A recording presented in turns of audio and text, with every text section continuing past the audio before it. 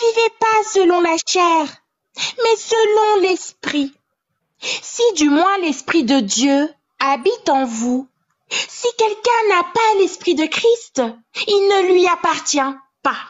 Si quelqu'un n'a pas l'esprit de Christ, il ne lui appartient pas.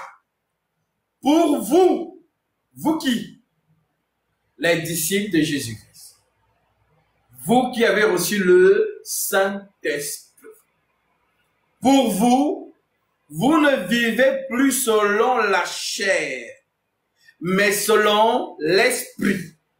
Si du moins l'Esprit de Christ habite en vous, si quelqu'un n'a pas l'Esprit de Christ, il ne lui appartient pas. Si quelqu'un n'a pas l'Esprit de Christ, il ne lui appartient pas.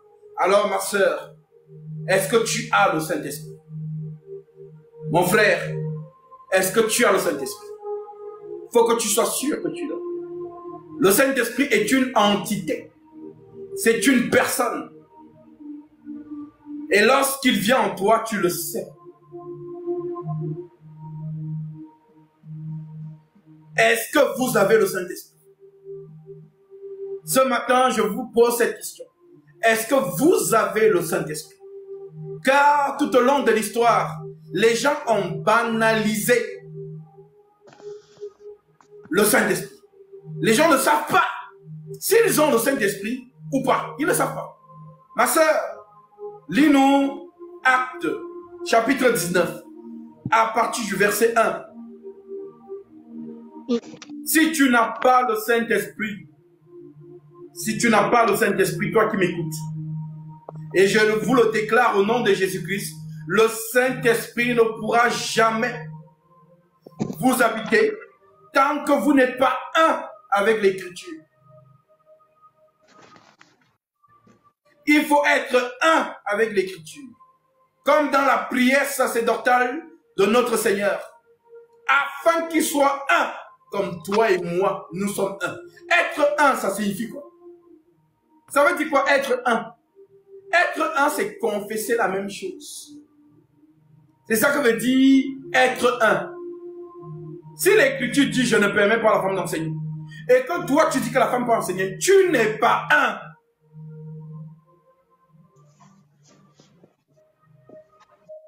Être un, c'est être radicalement fidèle à ce qui est écrit. Je n'ajoute pas, je ne retranche pas. Je ne laisse pas mon raisonnement humain, car l'écriture dit que tout homme soit considéré pour menteur, seul Dieu pour vrai. L'homme, c'est un menteur. Jésus dit à Pierre ce jour-là, qui a été ravi par l'ennemi? Jésus discerne que non, ce n'est pas mon frère Pierre qui a parlé. Arrière de moi, Satan, car tes pensées ne sont pas les pensées de Dieu, mais celles des hommes. Les hommes pensent.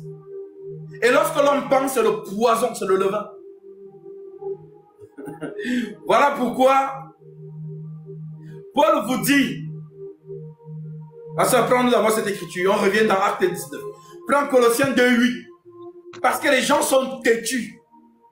Les gens sont dans une hérésie émotionnelle et sensationnelle. Les gens sont dans les états d'âme. Moi, je pense que, moi, je crois que, de toute manière, en tout cas, tu as ta compréhension. J'ai ma compréhension. C'est faux. Tous ceux qui sont un en Christ ont la même compréhension. Tous ceux qui sont un en Christ affirment la même chose. C'est la parole qu'on appelle le frère. Aime ton frère comme toi-même.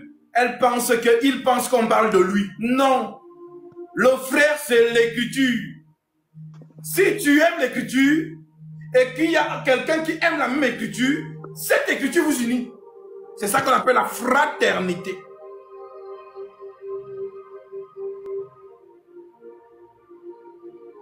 Alors que tes pensées soient renouvelées. Comme le dit l'apôtre Paul, Romains 12, verset 2. Ne vous conformez pas au siècle présent, mais soyez transformés par le renouvellement de l'intelligence. Retiens-le aujourd'hui, mon frère, ma soeur, toi qui m'écoutes. Toi que le Seigneur a convié à ce live. Le frère, ce n'est pas toi. Le frère, ce n'est pas moi. Le frère, c'est l'écriture. C'est lui qu'on appelle frère. Aime ton frère comme toi-même.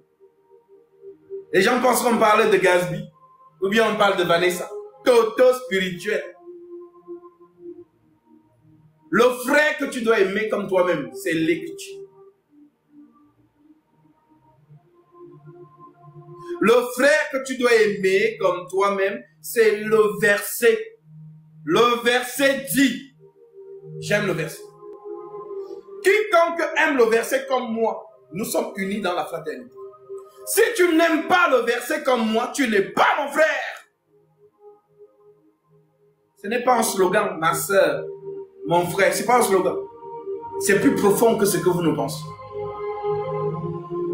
Car le Christ déclare, par le Saint-Esprit. Oui, ma soeur. Colossiens chapitre 2 au verset 8. Prenez garde que personne ne fasse de vous sa proie par la philosophie et par une vaine tromperie, s'appuyant sur la tradition des hommes, sur le rudiment du monde et non sur Christ. Amen. Est-ce que vous avez bien suivi la sœur Laetitia? J'ai l'impression que son micro crache un peu. Est-ce que vous l'avez bien suivi? Est-ce que vous l'entendez fortement?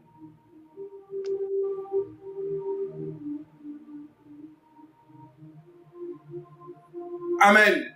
Répète encore l'écriture. Éloigne-toi un peu du micro, ma soeur. Répète encore pour qu'ils s'entendent bien.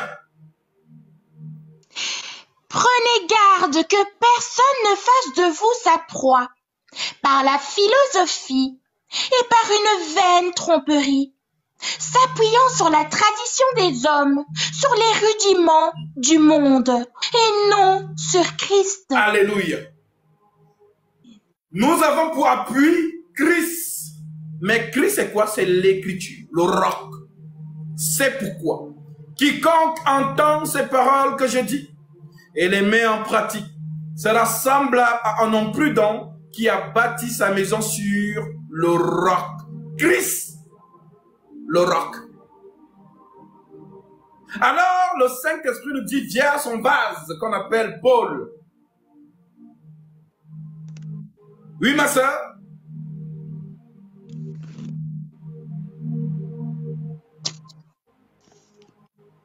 Euh, je continue ou je me change le même verset, Colossiens 2, 8. Ok.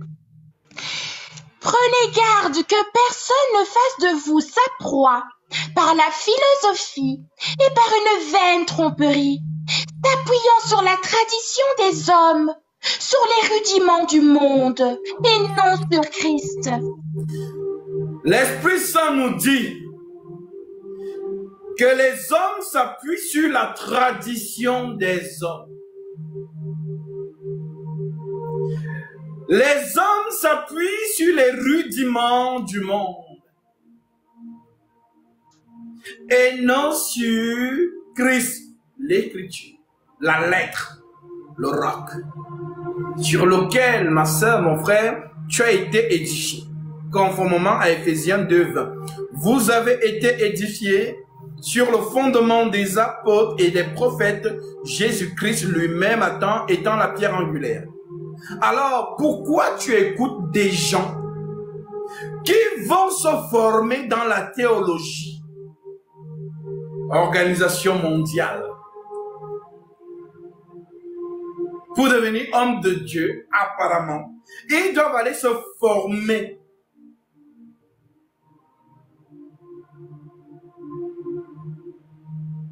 pour se placer devant vous.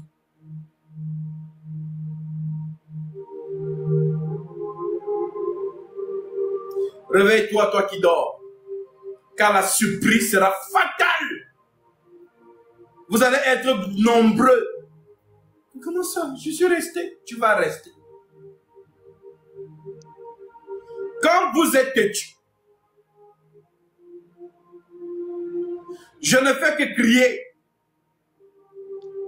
Car je suis la voix qui crie dans le désert. Crier, c'est prêcher. Sortez des églises réveillées. Sortez de là. Sortez des systèmes pyramidales. La manière dont vous êtes sorti de l'église catholique romaine et vous êtes allé entrer dans les églises réveillées, alors c'est la même bête. Sortez de là. Restez à la maison. Lisez les lettres qui, qui vous ont été mandatées par les apôtres. Soyez conformes aux lettres jusqu'à ce que, si le Seigneur te fait rencontrer une personne qui est aussi fidèle aux lettres, vous priez ensemble. Tant que tu es seul, là où tu es, je ne sais pas où tu es, mais que tu es fidèle aux lettres, reste à la maison.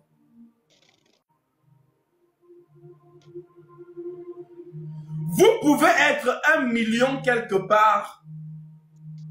Dès qu'une seule écriture est piétinée, Jésus n'est pas là. Là où deux ou trois sont réunis à mon nom, je suis au milieu d'eux.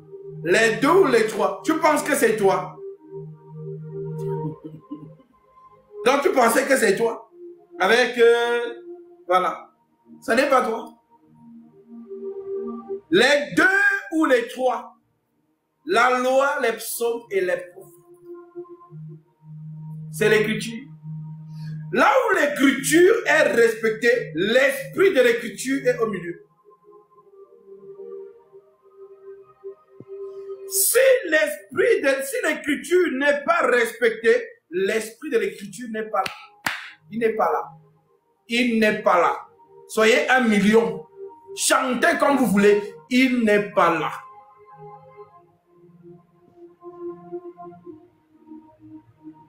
Alors, comme vous avez accompli la prophétie de l'apôtre Paul,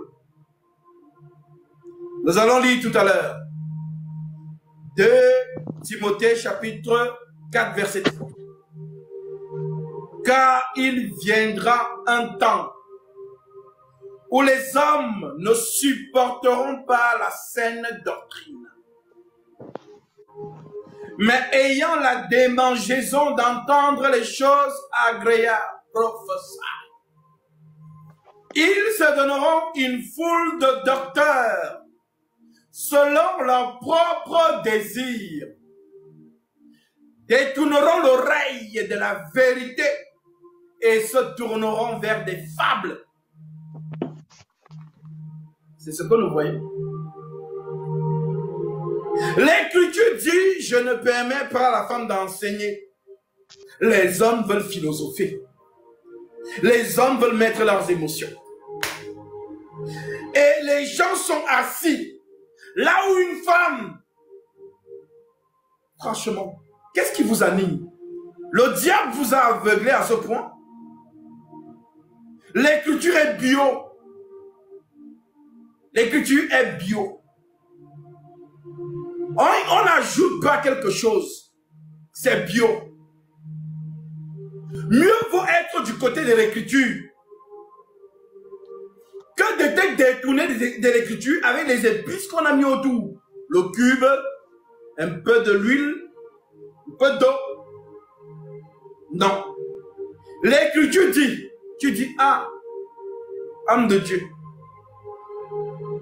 les apôtres m'ont dit,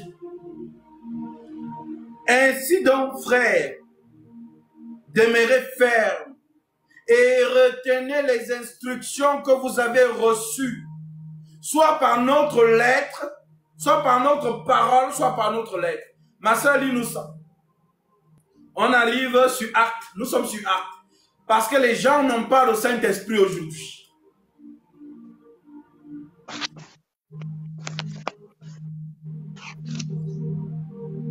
Mettons d'abord le schéma. Le Seigneur Jésus-Christ est celui qui nous dit et nous appliquons. Que nous dit le Seigneur Jésus-Christ? Prends d'abord Jean 17, verset 19 et verset 20. Et ensuite, tu enchaînes avec deux Thessaloniciens, qui est la pérennisation de la recommandation du Seigneur Jésus-Christ. Donc, toi qui m'écoutes, celui que tu appelles maître et seigneur t'a recommandé ceci. Jean 17, 19 à 20.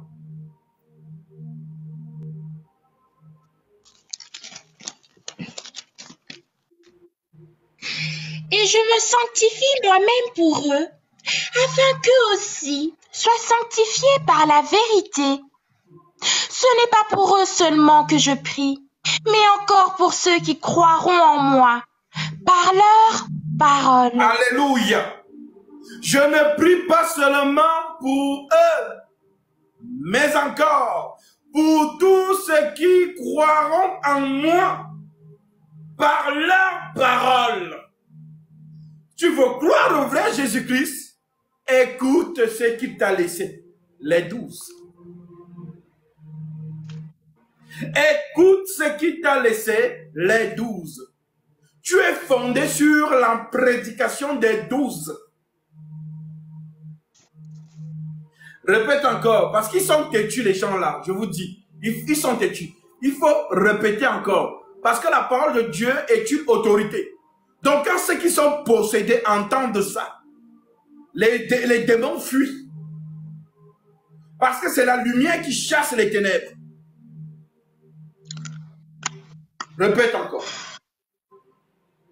Et je me sanctifie pour moi-même pour eux, afin qu'eux aussi soient sanctifiés par la vérité.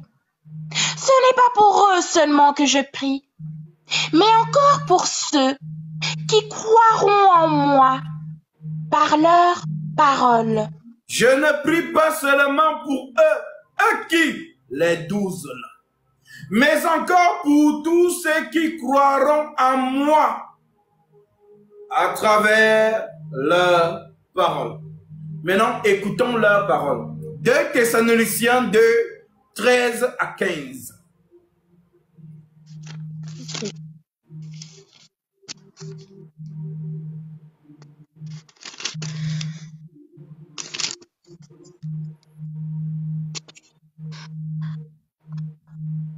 Pour nos frères bien-aimés du Seigneur, nous devons à votre sujet rendre continuellement grâce à Dieu, parce que Dieu vous a choisi dès le commencement pour le salut, par la sanctification de l'Esprit et par la foi en la vérité.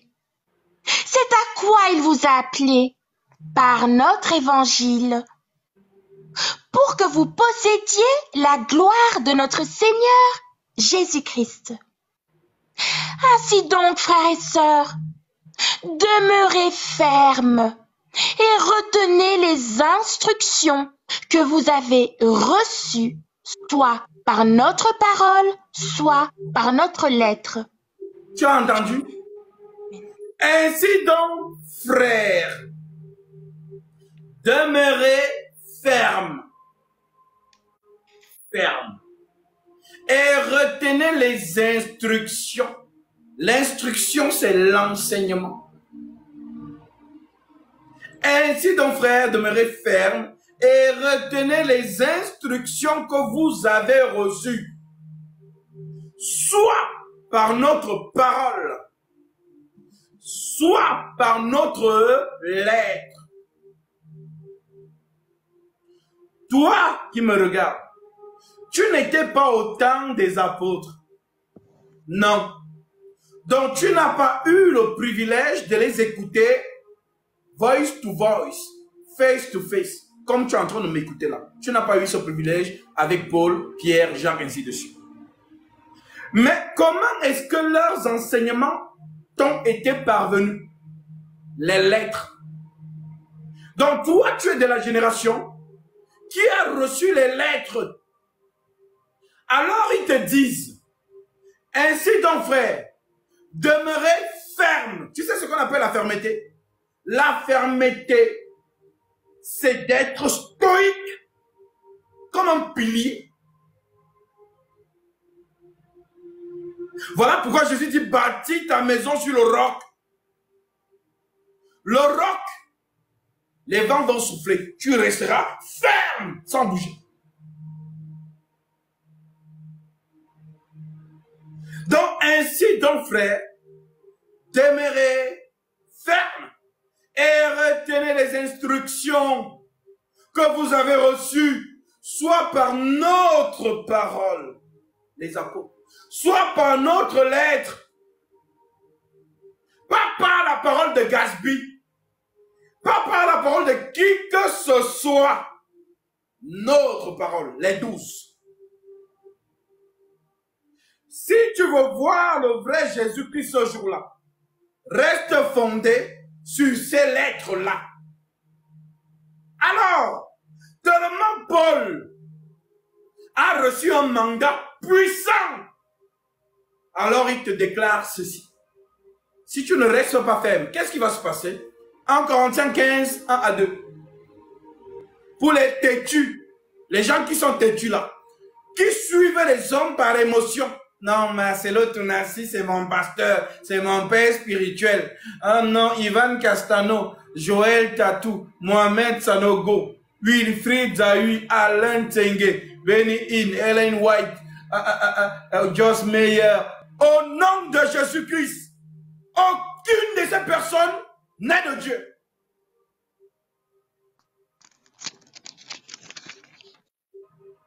Si tu penses qu'ils sont de Dieu, ma soeur, Bon voyage pour la perdition. Bon voyage. De toute manière, les prophètes ont parlé avant. Est-ce qu'on les a écoutés? Rien.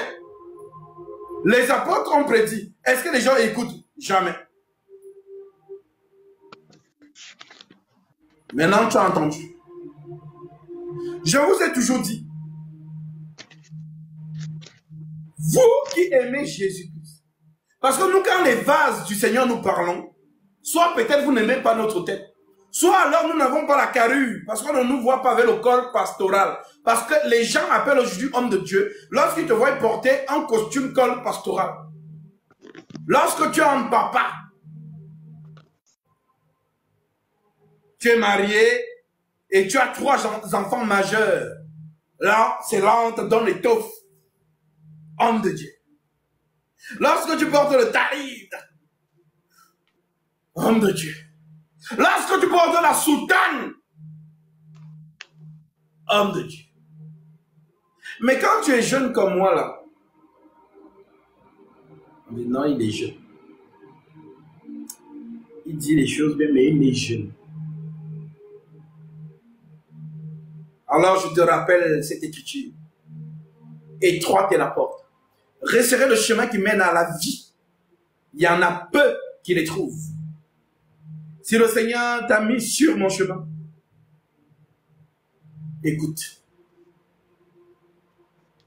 Car le Père n'est pas dans le buzz. Là où les gens pensent que Dieu est, il n'est pas là. Vous allez voir les, les organisations des hommes mondialement. On a vu ici la marche de Jésus. Partout dans le monde, Jésus n'est pas là. Jésus est dans la discrétion il est distrait. Si tout le monde voit que hum, voilà la porte qui va au ciel, tout le monde va courir. Tout le monde va courir que non, on va entrer. Mais il nous dit, large est la porte, spacieux est le chemin qui mène à la perdition. Il y en a beaucoup qui entrent par là. Permettez-moi de, de décoder cette écriture car beaucoup la lisent, mais ils ne comprennent pas. Large est la porte. Spacieux est le chemin qui mène à la perdition et il y en a beaucoup qui entrent par là. Alors, la porte, c'est quoi? La porte, c'est un homme. Pourquoi? Parce que Jésus lui-même s'identifie comme étant la porte des brebis. Large est la porte, spacieux est le chemin. Le chemin, c'est quoi? Le chemin est un homme. C'est un homme, le chemin. Pourquoi? Parce que Jésus lui-même s'identifie comme étant le chemin.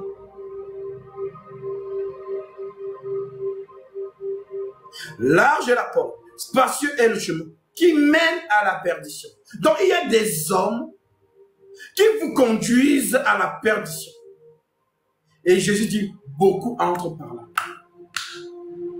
Suffisamment que tu sois connu, on va te suivre.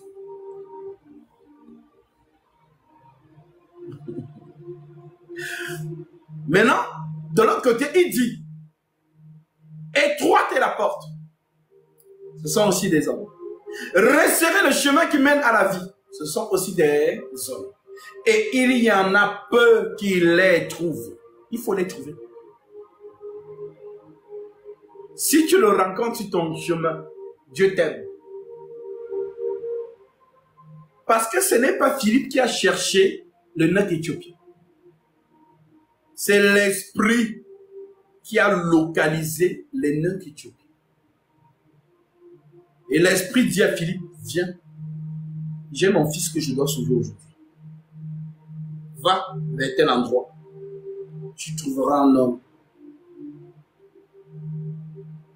Le nœud éthiopien, est-ce qu'il a cherché Philippe? Non.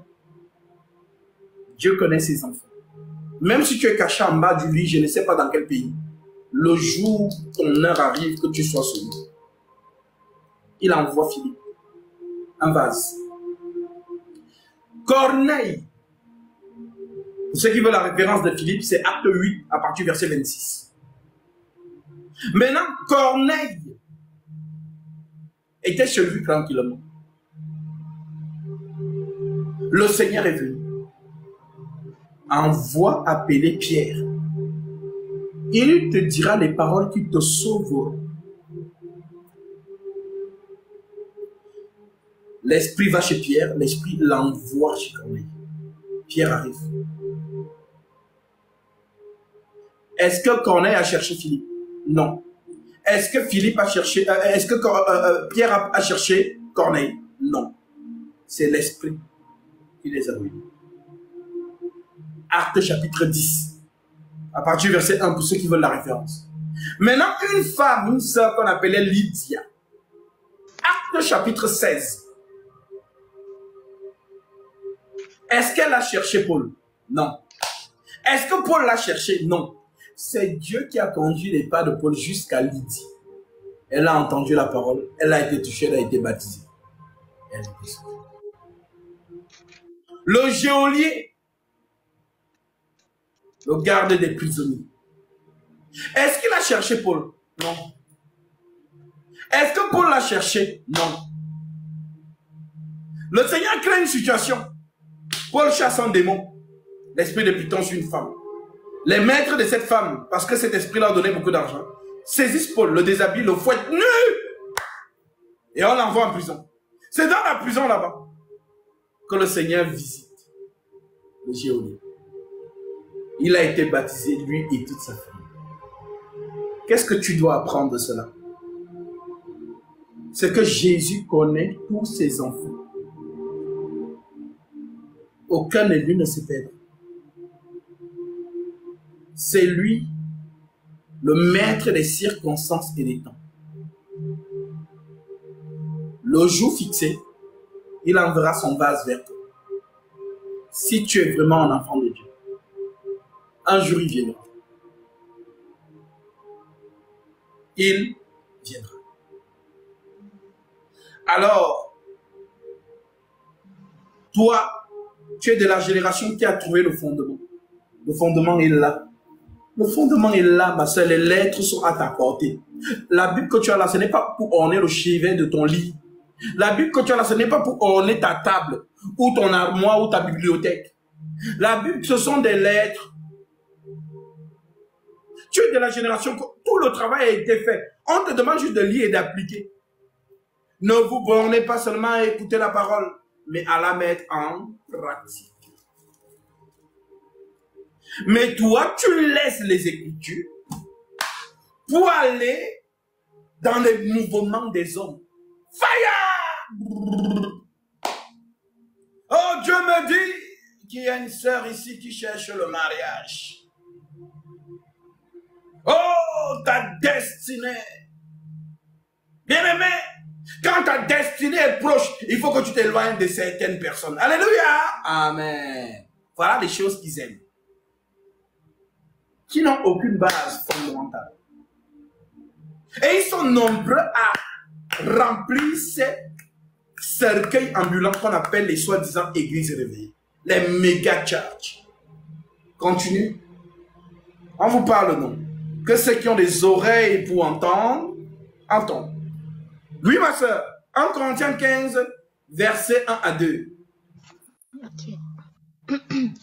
La résurrection.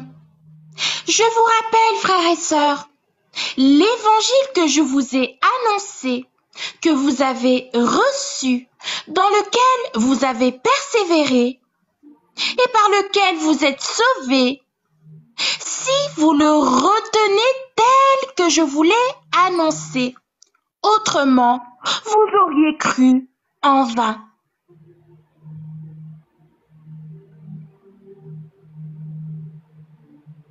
Je vous rappelle, frères, l'évangile que je vous ai annoncé, que vous avez reçu, et par lequel vous avez persévéré, persévéré et par lequel vous êtes sauvés. Si vous le retenez tel que je vous l'ai enseigné, autrement, vous aurez cru en vain. Alors les gens ont abandonné la sainte doctrine. Ma soeur, 2 Timothée 4, 3. Écoutez, parce que le Paul qui écrit ici, c'est le même qui prophétise ici. 1 Timothée, 2 Timothée chapitre 4, verset 3.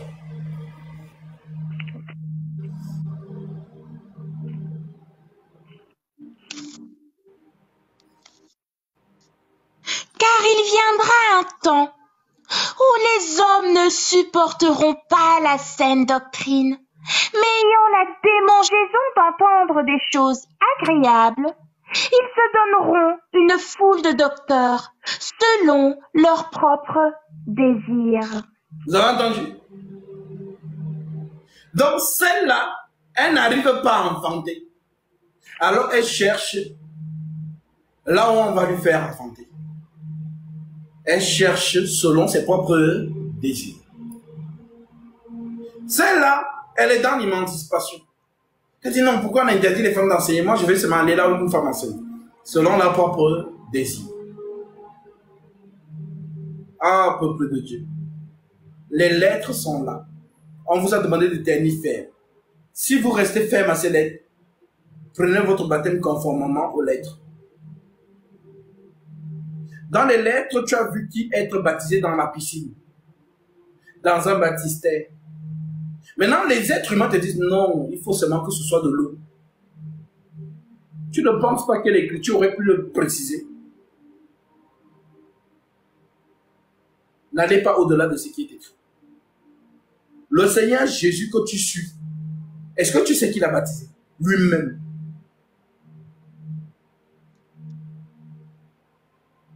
Nous allons lire ça. Parce qu'il y a beaucoup de gens qui ne savent pas.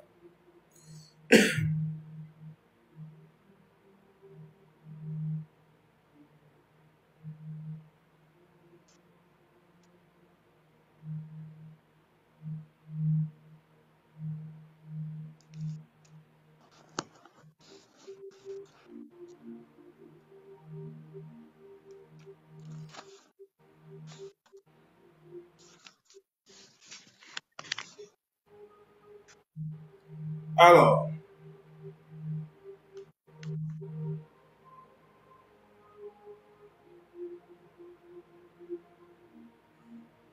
nous sommes dans le livre, juste un instant, j'ouvre ma Bible.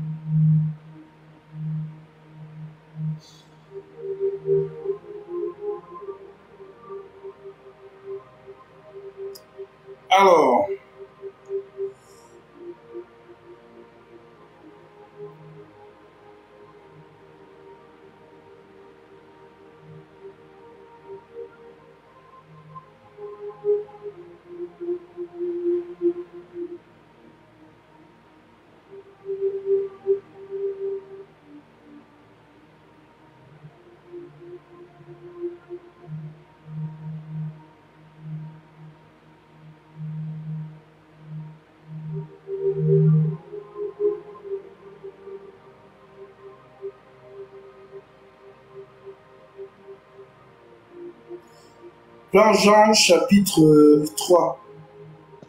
Oui.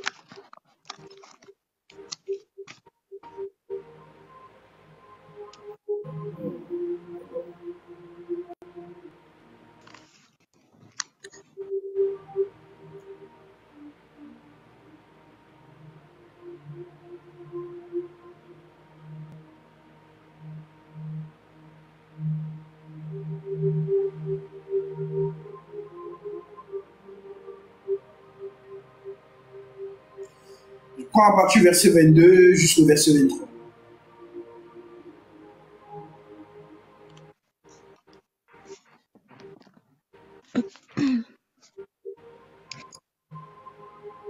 Nouveau témoignage de Jean-Baptiste.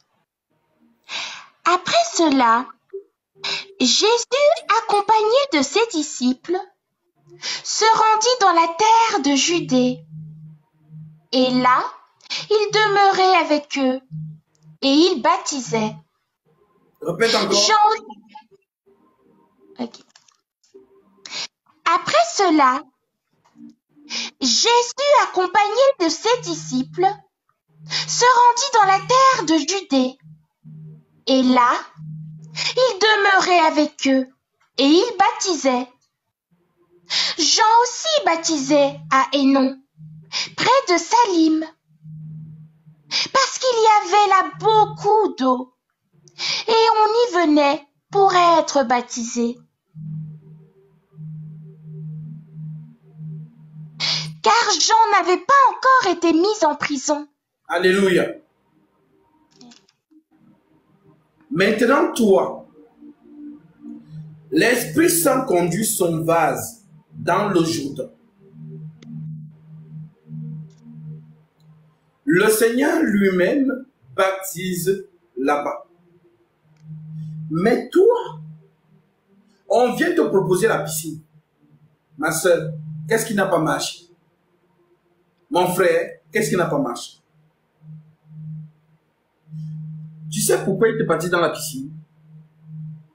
Parce que l'eau est turquoise. Donc, ils peuvent voir ce qui se faufile dans l'eau.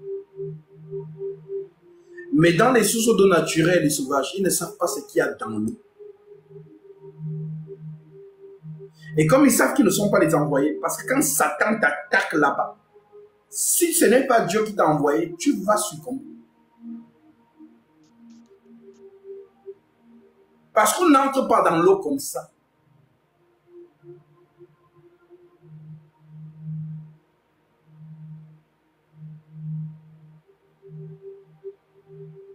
Non seulement on n'entre pas dans l'eau comme ça, mais les gens que tu touches même pour baptiser, tu ne sais pas ce qu'il y a en eux. Tu ne sais pas. Tu vas aller toucher quelqu'un comme celui que Jésus a délivré, celui qui avait une légion de démons en lui. Si tu n'es pas mandaté, le démon va te frapper. Pharaon va te frapper dans l'eau.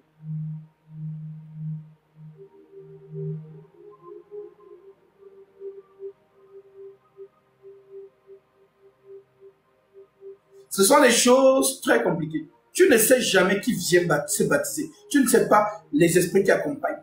Le Seigneur a délivré Marie Magdala de sept démons.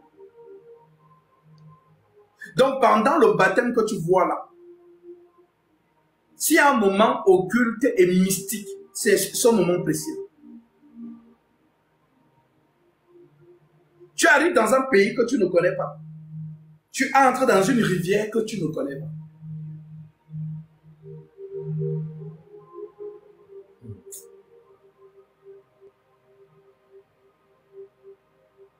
Il y a un jour, je ne sais pas qui me disait ça, il me dit non, moi je ne baptise plus dans l'eau parce que j'ai vécu une mauvaise expérience dont je peux faire les piscines. Les piscines, les baignoires, les baptistères. Parce que c'est que non, il est dans, il te met dans l'eau. C'est dans la mer rouge que ceux qui sont sortis d'Égypte ont traversé. Et lorsqu'ils ont traversé, ils n'ont pas traversé seuls. On dit que Pharaon et son armée sont entrés dans les eaux à leur poursuite. c'est l'image qui se passe pendant le baptême. Tu n'avais pas compris C'est donc ça. Pendant le baptême, Pharaon et son armée doivent rester dans l'eau, le péché, et engloutis dans l'eau.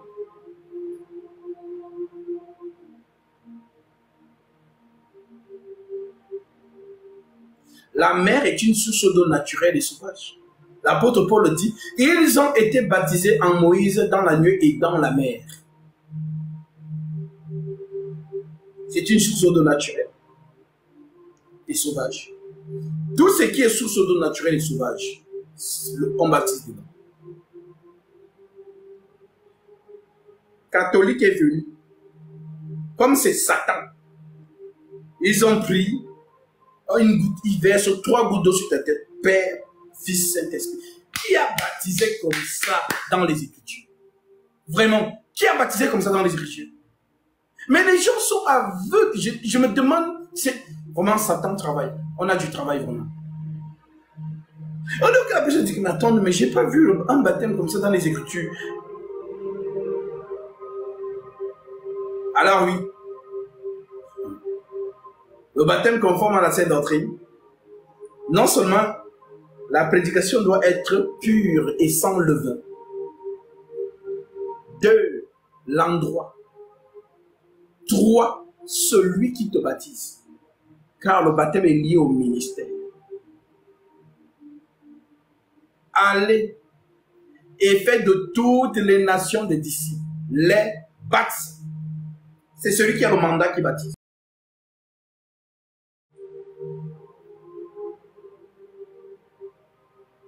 la puissance se dégage. Il n'est pas seul, car derrière Moïse, il y avait Michael.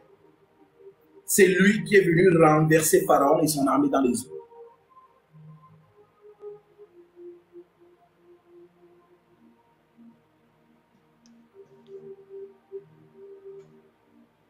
C'est pas parce qu'on ne parle pas, mais les choses qui se passent dans les eaux